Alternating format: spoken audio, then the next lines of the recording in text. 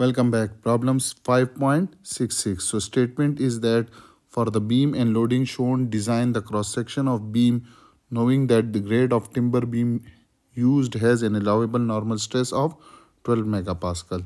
So you can see this is a cantilever beam AC where there is a distributed load of 18 kilonewton per meter over the length of 1.2 meter.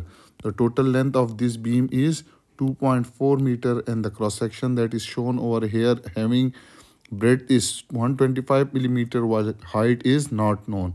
So we have to find this height and the grade of timber having allowable stress is 12 megapascal. So let's start with the solution. So as we know that maximum bending stress or allowable bending stress is equal to maximum bending moment divided by section modulus. And section modulus for this uh, uh, rectangular cross section is equal to 1 over uh, 6 bh square. So we do not have maximum bending moment. We have allowable stress. So first we will find this maximum bending moment uh, by using uh, shear force and bending moment diagram. So if we remove this support a so there will be a reaction force which is represented as A and there will be a bending moment which is uh, MA, external moment. This is MA.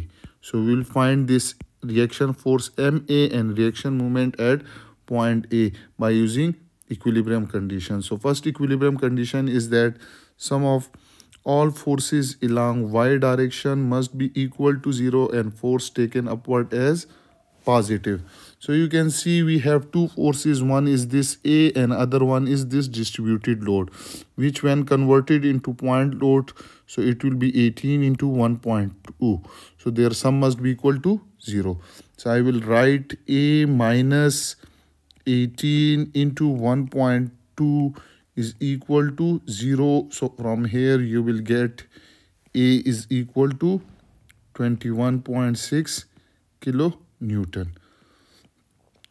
Now you can find the moment about point A, moment about point A as well. So how you will find that? So you will apply the sum of all moments about point A is equal to 0 and taking the counterclockwise movement as positive. So you have a reaction moment which is MA that is counterclockwise so it will be positive here and the other moment is due to this point distributed load which when convert into point load so it will be 18 into 1.2 and perpendicular distance now will be 1.8 okay so their sum must be equal to 0 so i will write uh, m about point a is equal to 0 uh, sorry m about point a which is plus minus this load when converted into point load so it will be equal to 18 into 1.2 and this perpendicular distance is 1.8 meter.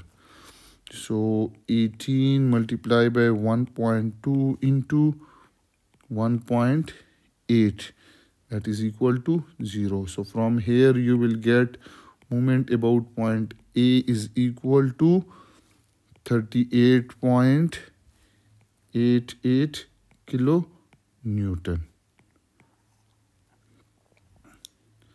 Now you can see that uh, we have this moment so we will move toward drawing shear force and bending moment diagram so for that you have to take the vertical axis uh, vertical line from the end of this beam and there is horizontal line and this x will be in meter while this shear force will be in kilo newton so this is your point a. So again you can check over here at point a we have 21.6 kilo newton so let this each division is 10 so this is 20 this is 10 kilo newton so 20.1 will be somewhere here. So moving from point a to B, there is no other shear force, so this will remain same. It will be horizontal till point b. Okay. Now this is 21.6 kilonewton. Now you can see you have a distributed load from b to c and the distributed load uh, which when converted will be 18 into 1.2 clear and this is downward so this we have the load shear force over here will be equal to 21.6 minus 18 into 1.2 and that will be again equal to 0 so the as the load is uh, horizontal load with 0 degree so shear force will be 1 degree higher and slope will be decreasing. So this is your this will be your b point. Okay so this is your shear force. Now we will draw the bending moment. So again you can see you have x in meter moment that will be equal to in kilonewton into meter. So let each division is of uh, uh, 15 kilonewton. So it will be 30 it will be 45 minus. Okay now we have a moment at point a is 38 it is positive. You can see over here this is counterclockwise. So whenever you have external movement that is counterclockwise. So while representing it on movement diagram so it will uh, the the the movement will go downward. It will be toward negative. So we will plot 38 point. So let 38 point is this one. This is let this is minus 38.8 so first point is this one. So this is movement about point a. I will use black color so that it may visible. So first point is this one. Now area under the shear force diagram is this area and this area is equal to 21.6 multiplied by 1.2 and that will give you uh, this value will give you 25.92 so minus 38.8 plus 25.92 will give you minus 12.96 at point B. So this is your point B. Clear?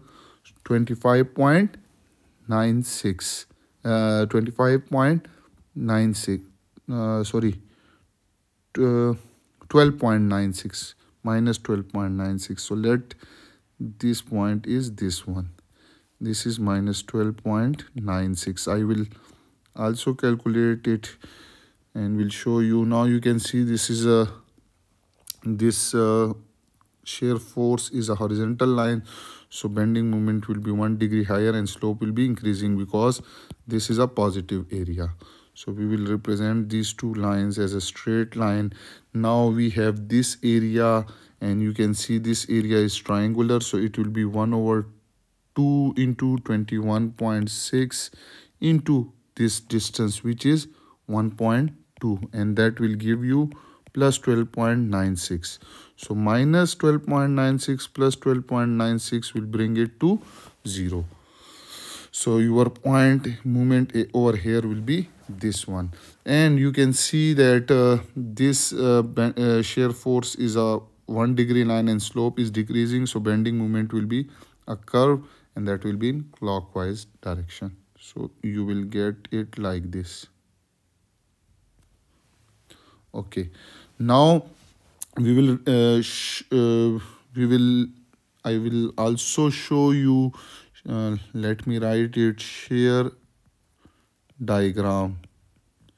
You can see that v at point a is equal to vb and that is 21.6 kilo newton. You can see that here v at point a is equal to v at point b which is 21.6 now what about uh, v at point c? V at c here you can see it is 0 how? So v at c is equal to this 21.6 minus this 18 into 1.2 and that is equal to 0 and similarly area under the area of shear diagram. Shear diagram. So first area you can see was this area which is 21.6 into 1.2 so that is 21.6 into 1.2 and that will give you 25.92 kilonewton into meter. So from this is from a to b. Now area from b to c that is triangular area this area and this area is equal to 1 over 2 into 21.6 multiplied by 1.2 and that will be equal to plus 12.96 kilonewton into meter. Now moment at point A was um, 38.8 minus because that will go downward 38.8 kilonewton into meter.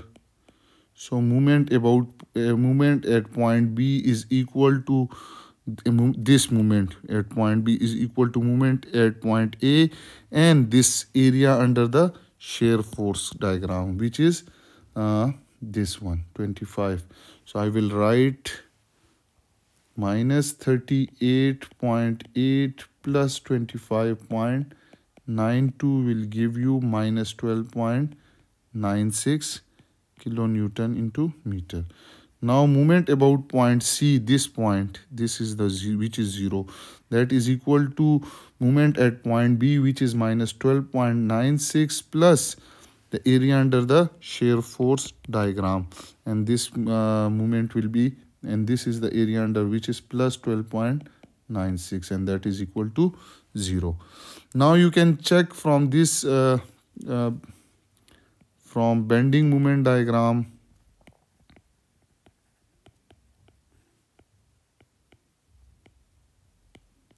The maximum absolute value of bending moment which is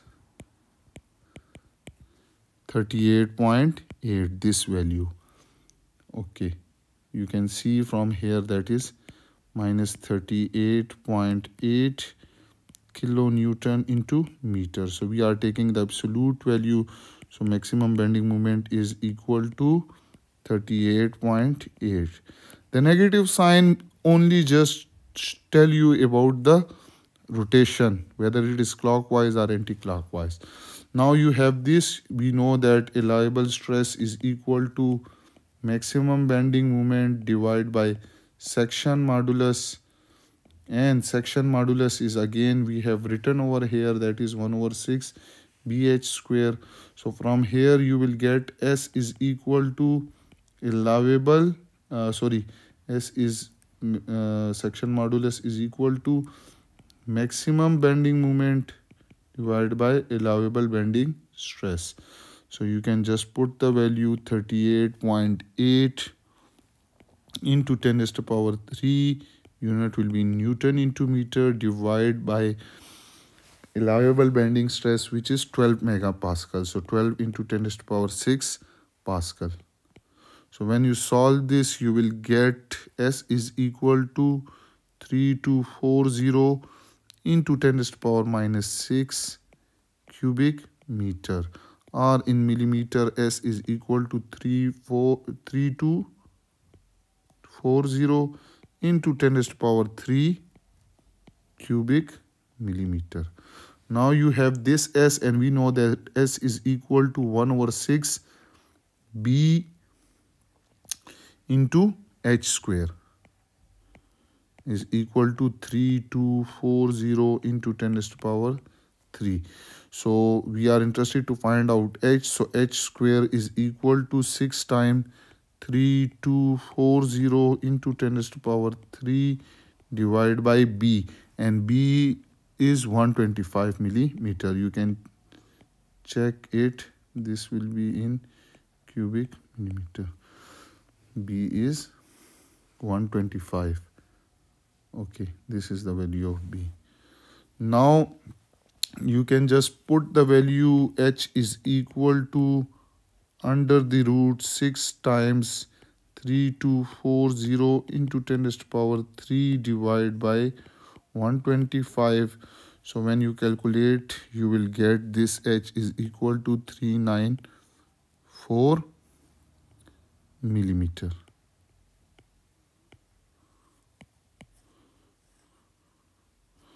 So this is the answer of our this question 5.66.